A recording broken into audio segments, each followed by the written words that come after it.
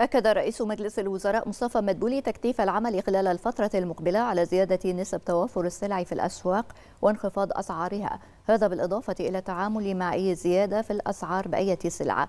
جاء ذلك خلال ترأسه لاجتماع اللجنة العليا لضبط الأسواق وأسعار السلع. حيث أكد عقد هذا الاجتماع لمتابعة توافر السلع وضبط الأسعار مشيرا إلى أن الفترة السابقة شهدت استقرارا في الأسواق وبعض الانخفاضات وهو ما أسهم في انخفاض معدلات التضخم.